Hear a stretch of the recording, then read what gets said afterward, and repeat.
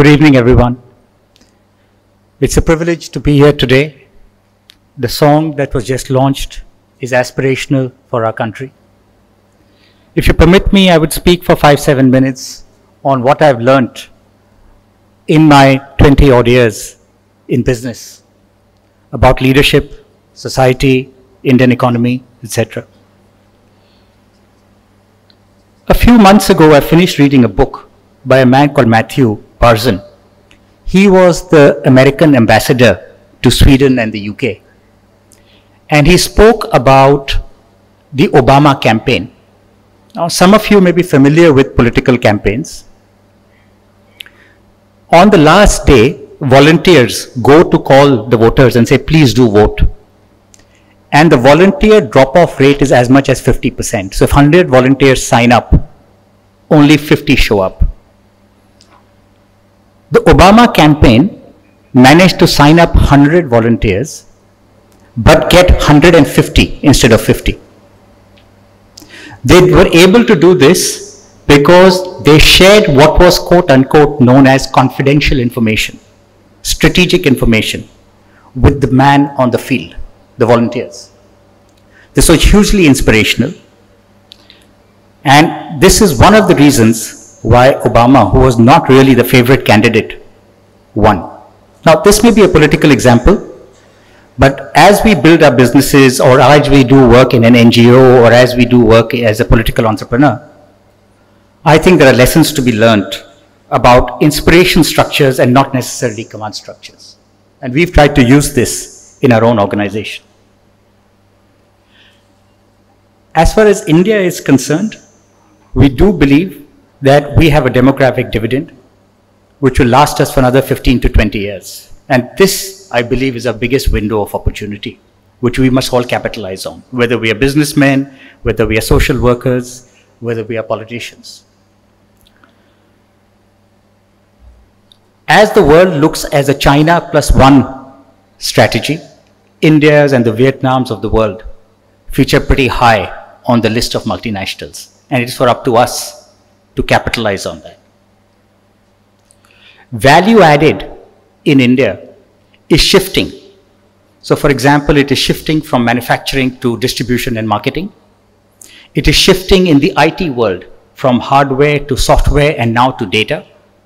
And we have to capture the new sources of value addition. February last year, there was a security conference in Munich, and they coined a new term. It was called Westlessness.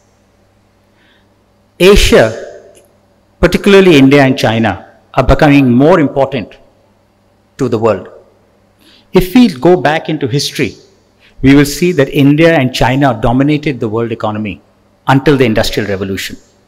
And the West actually gained ground and overshadowed everyone else because of the Industrial Revolution. And things are normalizing slowly. So we do believe this historical cycle will repeat in the next hundred years. And therefore, it is imperative on us to help capitalize on that trend. Indian entrepreneurship runs deep.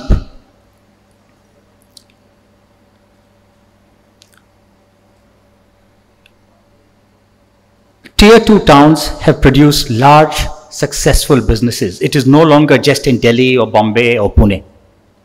For example, there's a company called Mysore Deep Perfumery, which was started in Indore. It is the biggest agarbatti manufacturer in the country. In Kanpur, a gentleman called Mr. Manoj Gyanchandani started a leather export business, leather shoe business in the mid 90s. Today, I believe his entire group is more than five and a half thousand crores in revenue. These are the stories from small time India. In Aurangabad, two brothers who are twins called Anurang and Tarang Jain are both dollar billionaires hailing from Aurangabad. This is the story of modern India, which we should all aspire to. Karad ji was mayor of Aurangabad and therefore, he knows the entrepreneurial culture that Aurangabad had. And sir, I was mentioning as you were walking in, Anurang and Tarang Jain are both Aurangabad residents who moved from Bombay to Aurangabad to start auto businesses.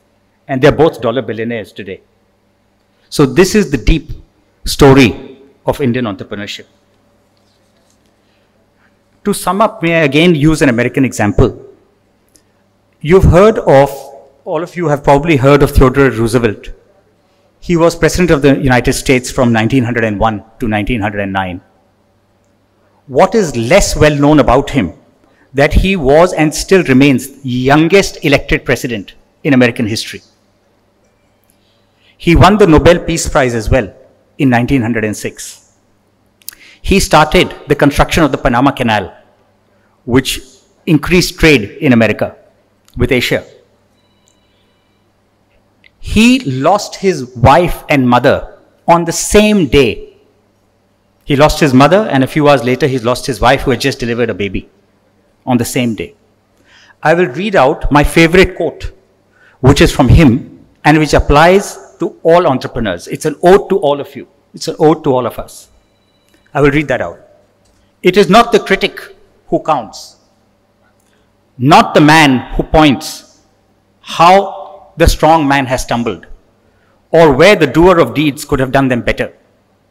The credit belongs to the man who is actually in the arena whose face is marred with dust and sweat and blood, who strives valiantly, who makes mistakes, who comes short again and again, because there is no effort without error or shortcoming, but who does actually strive to do the deeds, who knows great enthusiasm and great devotion, who spends himself in a worthy cause and who knows best in the end the triumph of high achievement, and who at worst, if he fails, at least fails while daring greatly. So his place shall never be with those cold and timid souls who have neither known victory nor defeat. Ladies and gentlemen, this is an ode to all of you. Thank you.